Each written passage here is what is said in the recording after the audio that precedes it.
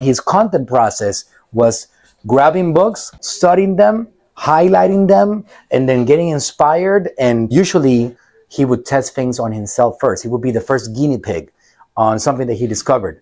And then he would see his results and he would be like, whoa, that worked.